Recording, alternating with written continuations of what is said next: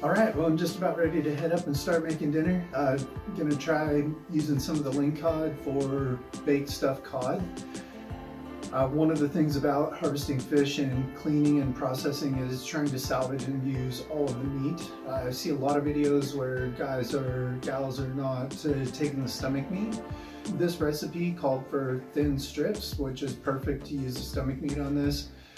So utilizing the entire fish and making an absolutely amazing meal. So let's head up to the kitchen and get started.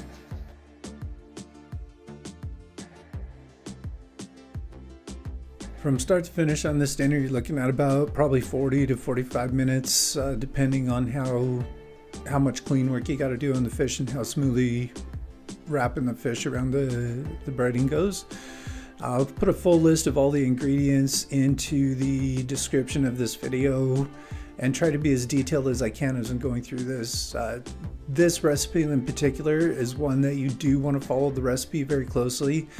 Uh, not like the one I did with the stew a couple days ago and some of the others where you can kind of play around with the ingredients and different things. This one you need to be, you need to follow it pretty closely. So the first part of this, we're just going to go ahead and make up some stuffing according to the instructions on the box. After we start preheating the oven, we're going to cut up some of my favorite mushrooms and get these sauteed. We're going to add these into the stuffing and then set the stuffing with the mushrooms off to the side to cool. Next, we'll finally dice up the green onions and almonds and uh, zest our orange and then start cleaning up the fish a little bit.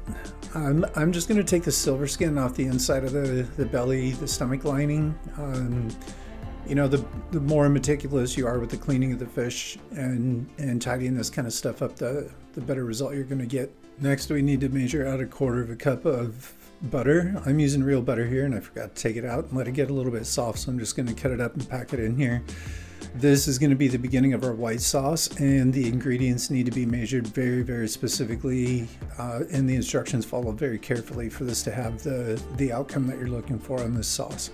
You'll want to cook the butter over medium heat until it starts to brown. Once the butter starts to brown, take it off the heat and mix in the flour, salt, and garlic and then stir this mixture until it's smooth. Once it's smooth, go ahead and add in the two cups of milk and stir it until it's all mixed together. Put it back over the medium heat, bring it up to a boil, stirring continuously all the way through this process.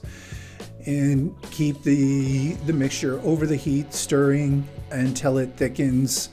Uh, once it gets nice and thick, you can take it off the heat and set it off to the side. Before we start putting this thing together, we want to spray our 9x13 pan with some vegetable oil. Okay, it's time to stuff the cod. So we're going to take those strips of belly meat that we had and the stuffing that we mixed the mushrooms with and put them together. One of the things that I found that really make this a little bit easier is to take the stuffing and kind of pack it down in my hand. Uh, make it a little bit more solid and then gently roll the meat around um, Obviously you only want to put enough stuffing in that the meat can reach all the way around so you can put a toothpick in it and hold it together and then gently set it into the glass pan that we just greased. Now that we've got the cod stuff and evenly distributed these pieces throughout the pan, uh, we're going to finish this up now. So let's go ahead and take the lemon juice and we'll sprinkle this over the top and then sprinkle the orange zest over the top of that. The next part will be to carefully spoon on the white sauce. Uh, this white sauce is it's kind of surprising. It if you get it to the right thickness when you cooked it, it will gel up a little bit more after it cools off, but it will stay right on top of this even in the oven. Once you get the, the white sauce spooned on here fairly evenly, then we're going to go ahead and sprinkle on the green onions and the almonds that we chopped up earlier. The strips of meat that I used on this are fairly thin, so we're going to cook these for about 25 minutes in the oven at 350 degrees. You want to make sure and cook these until the meat looks white and flaky all the way through, that there's none of the translucent color left to the meat. Um, once you take these out of the oven, just they're ready to serve hot. You don't need to let them rest, uh, whatever your favorite side is. Uh, in this case, I made a nice salad to go with. From the field to your table. Enjoy.